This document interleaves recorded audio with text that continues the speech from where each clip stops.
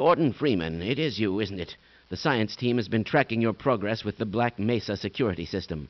Unfortunately, so is the military. That suit of yours is full of tracking devices.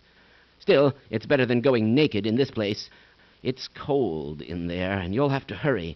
It could sap your suit power in a matter of moments. If you're bent on reaching the Lambda complex, then you'll want to keep to the older industrial areas where the security system is full of holes. It's worked for me so far.